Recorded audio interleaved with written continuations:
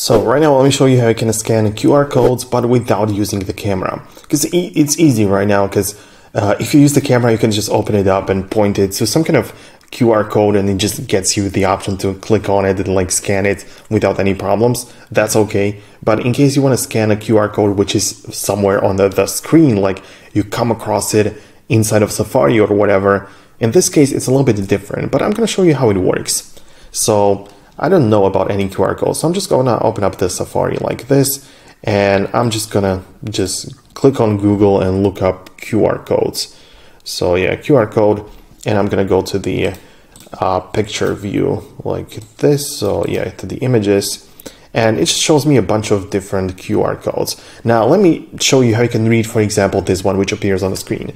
So what you have to do is to take a screenshot of this, and it's to appear inside of the Photos app as a normal screenshot. So you open up the photos for now and get to the image which shows up like this. And you need to make sure that it's like it's showing the information. When this picture is not showing any information, you have to just tap on it and it gives you like when it was taken and the option to edit and stuff. So you want to make sure that you are in this view for the QR codes.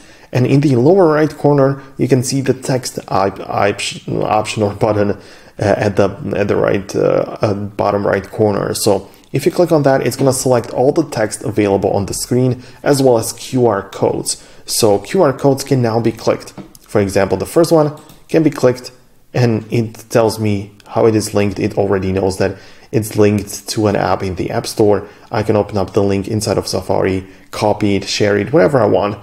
Same for other links. So I click on the one at the bottom. It, it tells me that this is the URL which is linked under the QR code. so this is what you can do. Doesn't matter which QR code I click on, I can read them easily. The problem, however, would be that you don't even have the button right here. You don't have this feature enabled and some iPhones may not have it because they don't run the latest version of iOS. If you have like really outdated version, like I don't know, like iOS 11, then obviously you're not going to be able to do it but also you need to have it enabled in the settings, even if you have the latest iOS 17, for example. So to do that, open up the settings and find the general section. So it is right here, the general. Click on that and scroll down to the bottom to click on language and region. Open it up like this. And I don't know why the live text is available inside of here, inside of the language and region section.